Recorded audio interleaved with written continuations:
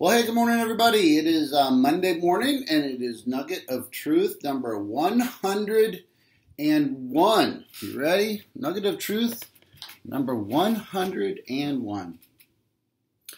I do believe in the miracle of Christmas and the virgin birth. If I believe that, then nothing is impossible with God. That includes, you know, for me, it was finding a full time position, but anything. But it also means thriving and not just surviving in life.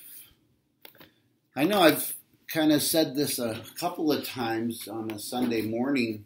I don't even know if it was ever part of the sermon notes. It just kind of felt appropriate to say, but if you believe in Christmas, and if you're watching this, there's a chance that you do believe in Christmas, literally, in the virgin birth, um, then you have no choice but to believe that God is supernatural. So if you can believe Christmas, which I'm sure most of you do, then that's that's a watershed. You you have no choice. You have to believe that God can do anything. It's an either or.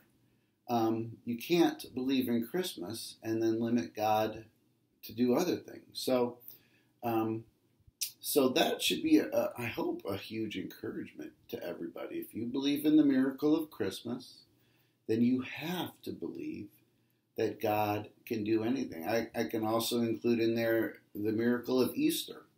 If you believe that Jesus rose from the dead, and again, I think a majority of you huge majority of you that are watching this or listening to this do believe that Jesus rose from the dead.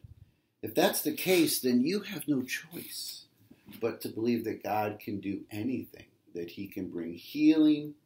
But this nugget isn't even talking about physical things, it's talking about if you believe in Christmas, then you believe that God can work in your life in such a way that you will not just survive, but that you will thrive in any situation. And that, that, that might be a stretching thought. We always tend to focus on the physical things, provision of this, you know, um, and those okay to pray for those things, obviously, or health.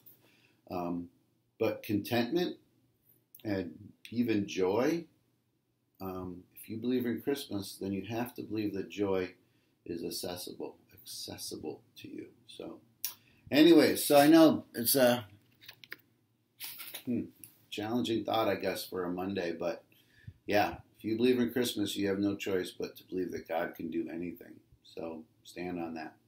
All right. Thanks so much. Take care. God bless. Have a great week. See you tomorrow. Bye.